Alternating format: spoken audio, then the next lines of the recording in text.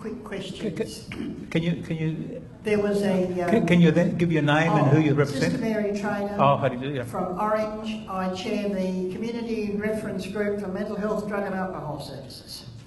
Um, the MOU, Memorandum of Understanding regarding chaplaincy, was signed off and we said whoopee and what a marvellous thing has happened because it's finally come through. Whoopee. However, I'd like to ask, maybe it's Professor Mary, I don't know, someone might be able to tell me what provision exists for the payment of stipends for chaplaincy. There are in lots of places, the big hospitals, I'm not talking about little country hospitals, they don't need paid chaplains. They know that, we know that.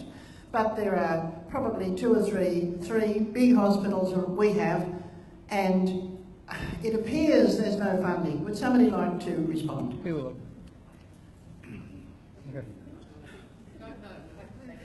Well, up to Hannah. That's right. Um, well, I'll definitely take that on notice. Um, as you may know, Sister, of course, I've, I've spent a large part of my time in the Catholic healthcare system where we do pay stipends for, for um, chaplains, but that was under our own private auspice. Um, and I'm, I have to confess that uh, I'm not sure what the arrangements are within the public sector, but we'll find out for you, so if I can get your details.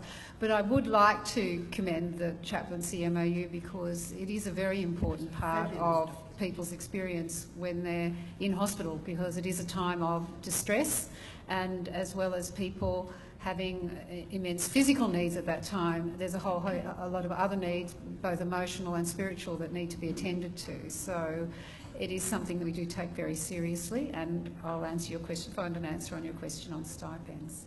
Thank you. Second question.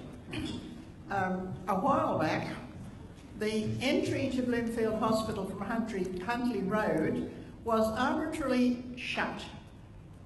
Now, there's been a lot of agitation, a lot of politicking going on. However, the thing is still shut. Now, what's it affecting? It's certainly affecting the um, roads within the hospital. Were so full of potholes you nearly took your life in your hands. Um, the traffic coming through to um, uh, all those sporting things they have there on the grounds, taking up a lot. So why is it at a stalemate? I don't know who'd like to answer that. Uh, Lynn, Lynn will answer.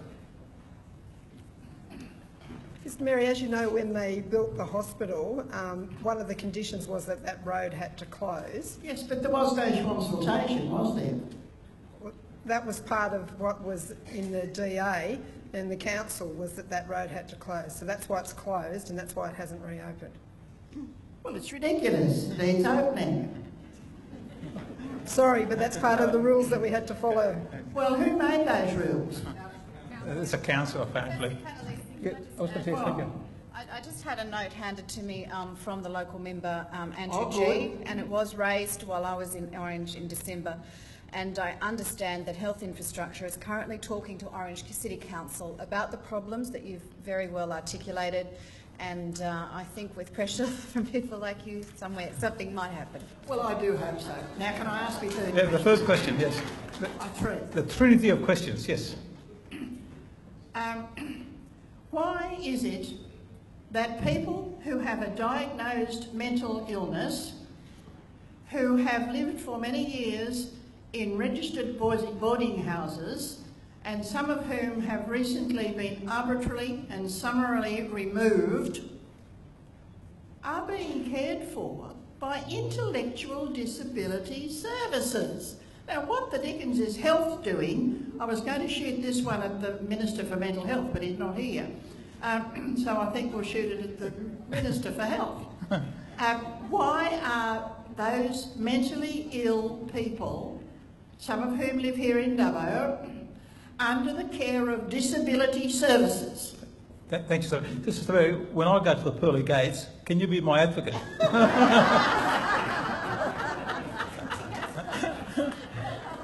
I'm sorry.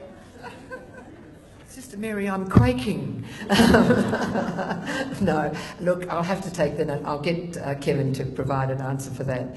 Um, yeah, really, that's the best thing I can do for you. If you want to Because send the when you write letters to people, all you get back is a thing, your letter is from some secretary or other, your letter has been received, doodle-doodle-doo, and that's it. Well, I can assure you that having heard you today and how forcefully you put your arguments, you'll get an answer.